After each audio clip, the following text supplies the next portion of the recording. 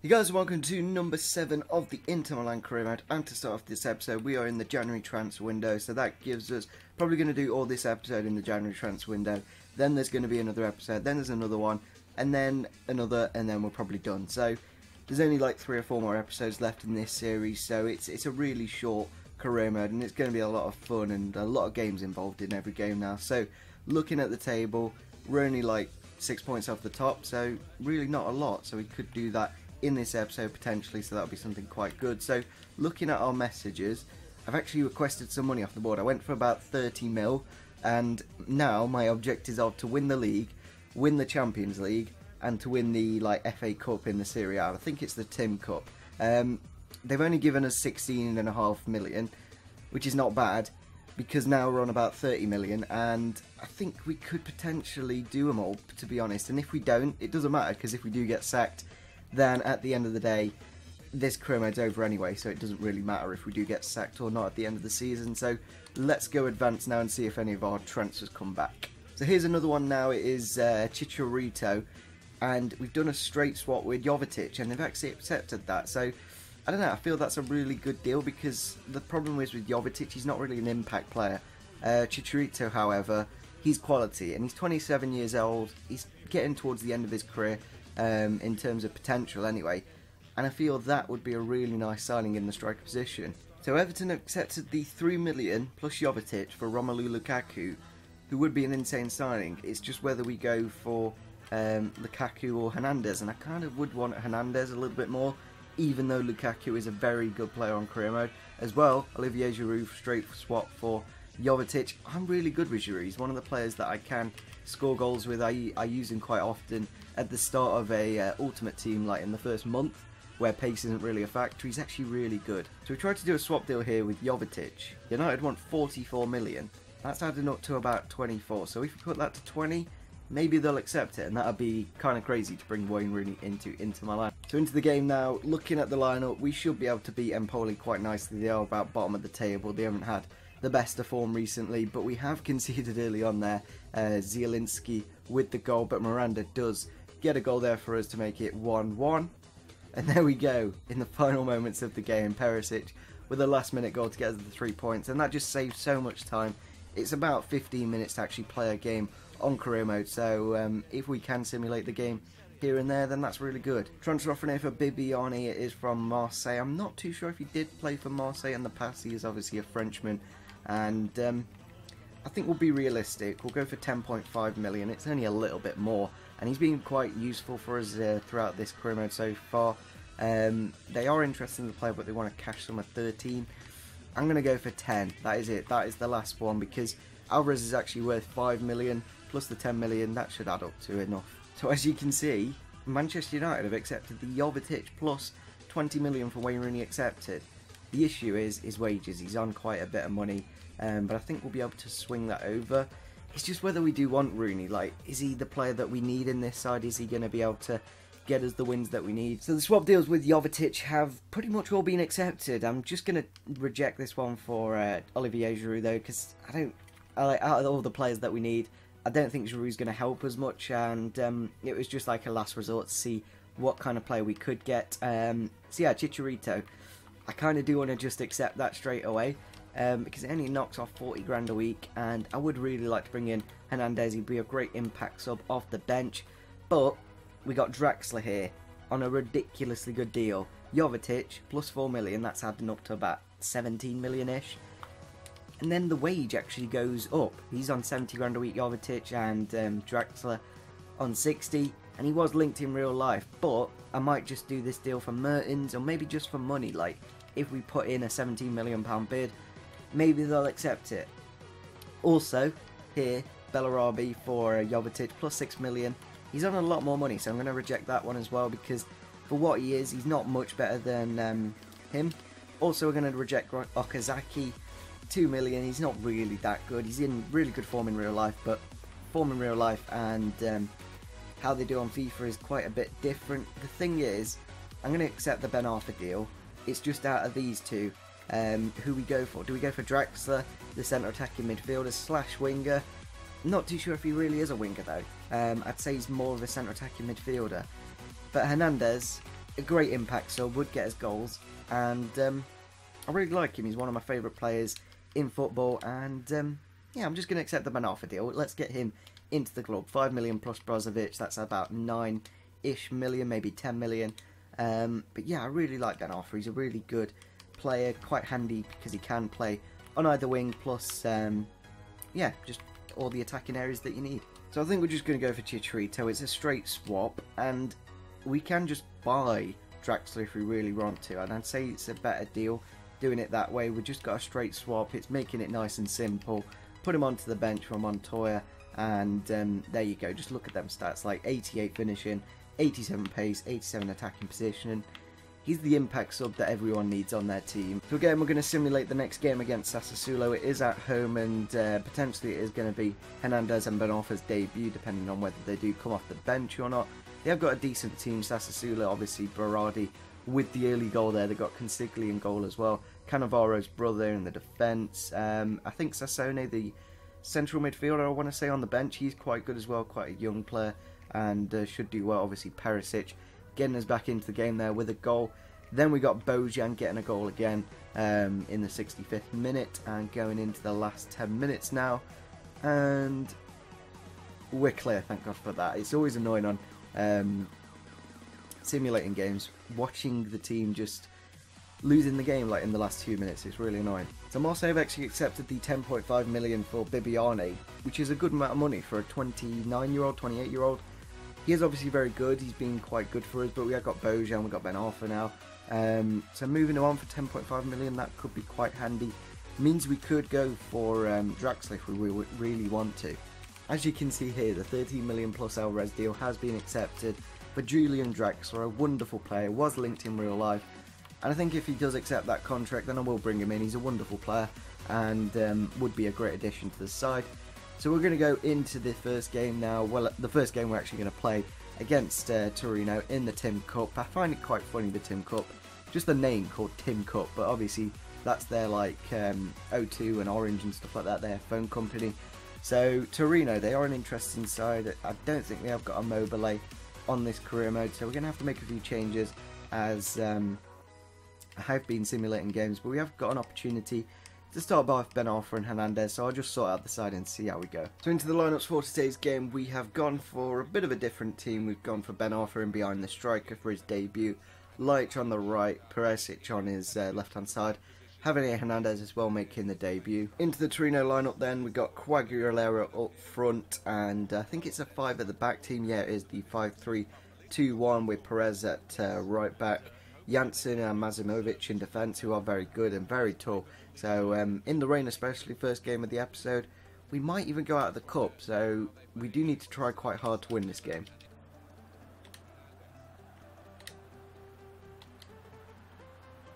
We got an early goal there with Kondogbia. That was a wonderful bit of play from uh, Hatem Ben Arfa in the attacking midfielder role. Just one turn it with Hernandez there, getting the ball back, and then just a lovely time ball for Kondogbia. I was wondering whether he was offside, and um, again, Kondogbia getting another goal for us. He's a really good midfielder on career mode, and um, I'm definitely going to have to look into potentially getting him on the Derby career mode. Obviously, he's going to be quite expensive, so probably at least another few seasons in. On, Hernandez. On his debut, he's got himself a goal, top of the net. Wonderful finish from the Mexican to make it 2 0 in the game. And um, yeah, I don't know what Torino doing there. Kondogbia again creating the chance, a wonderful through ball, and then um, a magical finish from the uh, Mexican. It's just crazy how good he's been since uh, leaving Manchester United, like at Real Madrid. I think it was last season, wasn't it? He didn't really do that well, um, but since joining the Bundesliga at Bayer Leverkusen, he's been absolutely amazing. Here we go, Chicharito. He's on the last man. Can he get the finish? Yes, he can. This has been a wonderful game so far. 30 minutes, 3 goals, 10 goals a minute.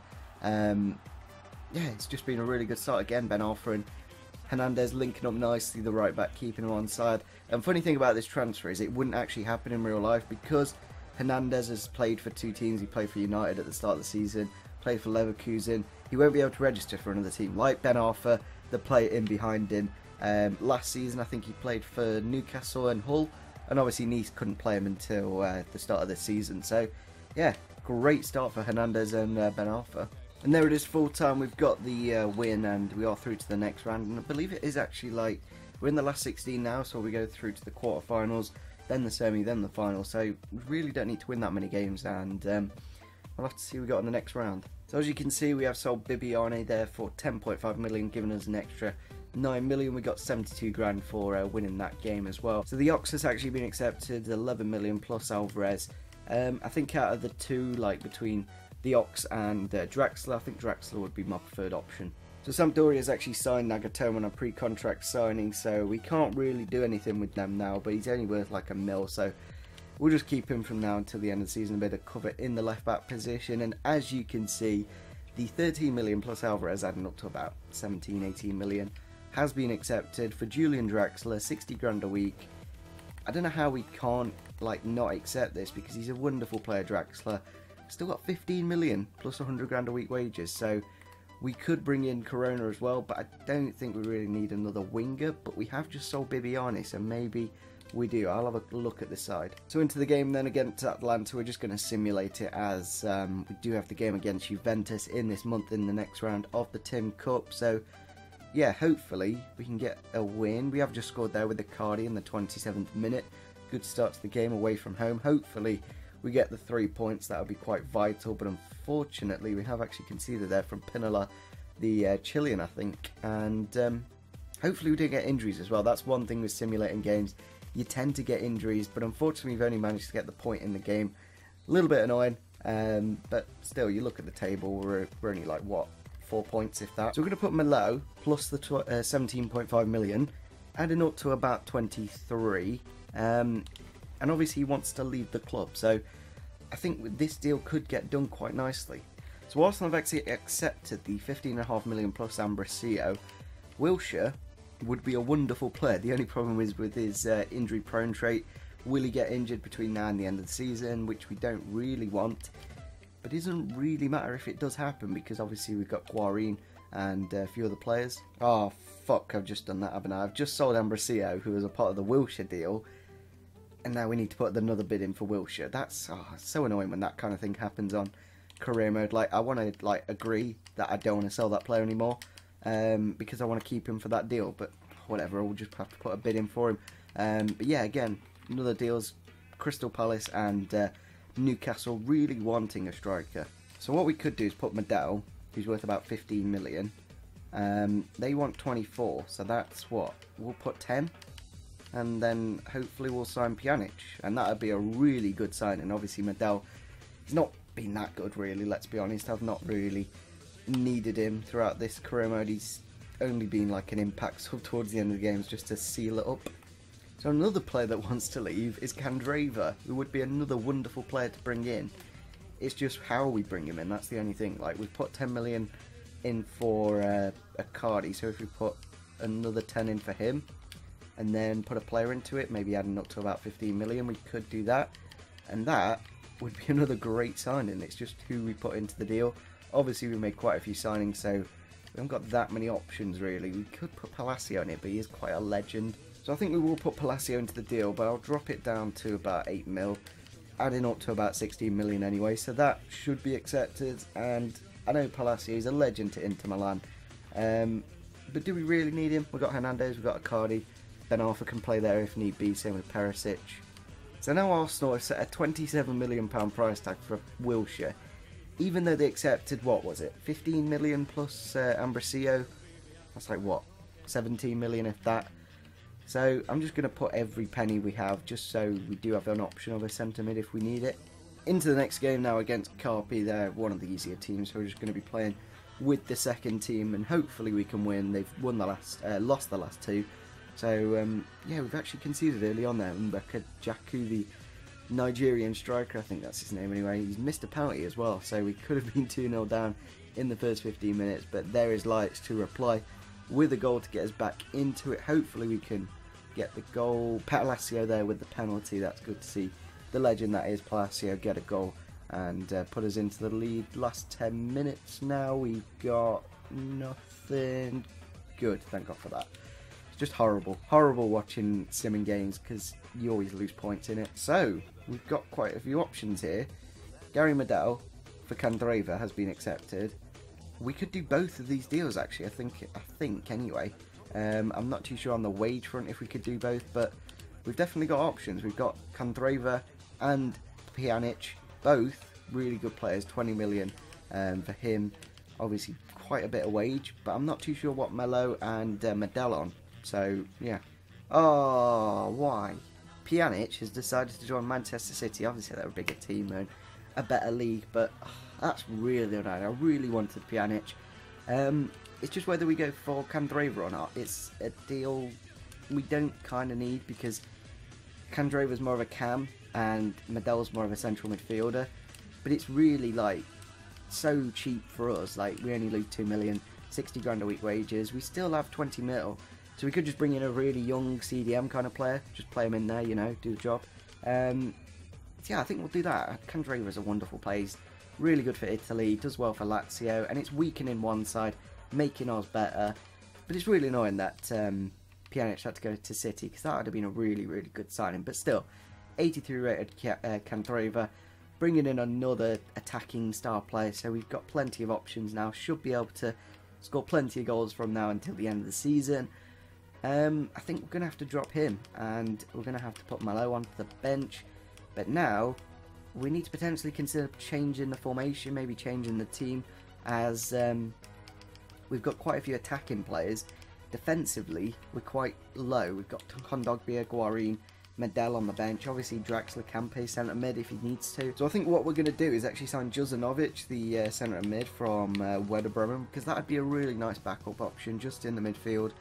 Um, I think, what did they want? I think they wanted about 10 mil, so I just accept that. We don't want to mess about now. We've got not many days left in the window. I'm not too sure if I've got anyone else that we could uh, fill in that role. So there we go, both deals have been accepted. That is kind of crazy because both of them are players I could quite like in the team. Um, I think we do need to do a two year because if we do a one year, it will run out at the end of the season. Um, we can financially do that deal for Xabi Alonso, that's good to see.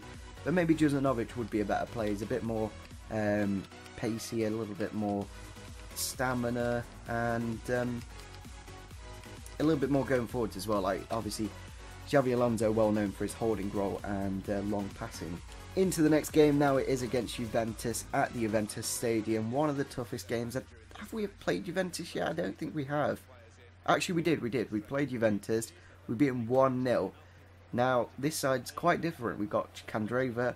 We got Hernandez in. So looking at their lineup, I think they've gone for a three at the back with. Uh, Rugani, Chiellini and Bonucci, yeah, Khedira holding, Pereyra, Cuadrado, Marchisio, Asamoah, Mandzukic and uh, Dybala up front, and obviously the legend that is Buffon in goal. Here's our lineup. We've gone for Candreva on the right, Perisic on the left. I was really tempted to start with Draxler, but Hernandez, Mertens, um, Tejas, Murillo, and uh, Miranda in the defence as well. And um, yeah, potentially Junuzovic coming into the team as well, or uh, Xabi Alonso. So we could really do quite well in all the cups and um, potentially at least win the double. Oh, and it's Dybala with the goal. 20th minute there from the Argentinian. Or is it Pereyra? It might have been Pereyra. No, it's Dybala for sure, yeah. Um, left foot of his, really good, and obviously not quite tight enough. I think it was Santon playing centre back, which is a little bit annoying when the defence does mix itself up, but we've got plenty of options going forwards and we should be able to get a goal. There we go, Mertens with the goal just before half time, with his left foot as well as his weak foot, and um, yeah, I was just thinking like our front three at the moment anyway, front four, front like basically everyone since Guarin and um, Handanovic, everyone's new since the last summer, so that's crazy that the entire team has changed in uh, such a short period of time. But yeah, it was a lovely strike. Chiellini probably should have blocked it, and um, yeah, we got ourselves back into the game just before half time. So it's going to penalties. Oh, this is going to be horrible. I've not done a penalty shoot in such a long time. We don't really have that many good ones. We've got like the first three, four. After that, it's all below 70. Um, so it's going to be an interesting one, that's for sure. First penalty for Mandzukic. Where's he going to go? I reckon he'll go bottom left. Oh, we've missed it. How have we... I, I hate that when you dive the right way, um, but it doesn't matter.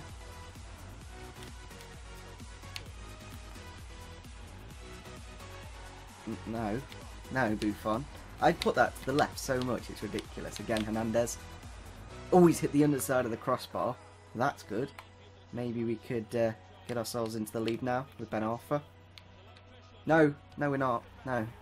Buffon's just going to save everything. Oh, this is horrible. This is a terrible penalty shootout. Oh, they've actually scored for once. They're 2-0 up now. We need to score this, essentially. There we go, Icardi. Banging it away.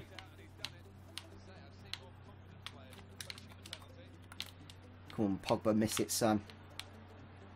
Oh, they've gone that way again. Like, can you stop going to the left?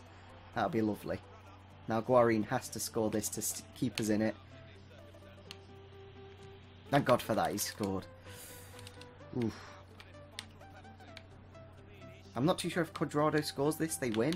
Maybe. I've dived the right way. Oh, this game. Penalties. Just like, come on. Whoever takes a penalty on FIFA, it's not like you win them. Oh, so annoying. Like, to lose on penalties against Juventus, like, that's just so annoying. Especially when you, like, I dived the right way, I think, like, three out of the five times. And, um, yeah, they somehow still won. It was in the top corner, but still, like, come on. What's the point in diving that way if it's um, not going to do anything? Into the derby then against Milan. Against Milan, obviously. Um, it is going to be a really nice game to end off the episode and to end off the January transfer window. Here is the AC Milan lineup. They got Balotelli and Bacca up front. Menez, Honda, Abate, Romagnoli, Alex, Antonelli, Hugo Lloris in goal, Kucka and De Jong in the holding midfield role. And um, yeah, we've only brought in Junuzovic into the team for this game. Candreva didn't do too well, like he didn't set up anything too special, but it was his first game, so maybe he'll do a bit better off the bench, and um, yeah, hopefully we can get a win in this game. Here we go, Ben Arfa's bringing it inside. Can he get the finish? Kind of. Kind of got the finish. He, he kind of deflected into the back net. I was trying to work out what just happened. Absolutely rinsed Antonelli, the left back. Cut inside, finessed it. Probably would have been saved, whether it's... Uh, Ben goal or not, I'm not too sure. I think it's going to go down on Romagnoli's the uh, young centre back. I think he's in like 21 years old. No, it's actually gone out of Ben Arfa's, so that's interesting. Last 15 minutes now. Can we get a win over the uh, Milan? Here we go, Chicharito against Hugo Lloris. And he's put it into the back of the net to seal the three points in the big derby. Really good to see him impact in this game. A wonderful ball from Perisic, just loops it over the defence. Lovely bit of touch. I was going to hit it first time and I thought, now let's just take it down and uh, lovely finesse shot into the back of the net to uh, get us the three points. And there it is, full time. We've got the win against Milan. I think we did actually lose the like home technically, but it is both home. Um, the home game against them, so it was good to see us get a win and um, yeah, good way to end off the month as well. So, I think we're just going to end off the episode here because I feel like we could potentially do a little bit more business, like maybe a swap deal. Maybe I've not realised something. Maybe you guys can leave a comment down below on who we could do a swap deal. Maybe Handanovic for Neuer. Maybe I don't know. Maybe that could be an option for us. Um, I don't know. Maybe Icardi for like an 84. Maybe like Higuain or something like that. Just to make it a little bit better. Obviously Hernandez doing really well in this episode. I think he got three or four goals. Candreva not quite making uh, the impact, and same with Draxler, but they've only played a couple of games. However, Arfa and uh, Hernandez, wonderful signings so far. So, yeah, I think we're going to end off the episode here. Just leave us a little bit to do in the next episode in the transfer window. So, if you did enjoy this episode, make sure you do leave a like, subscribe if you are new to the channel, and see you soon. Bye.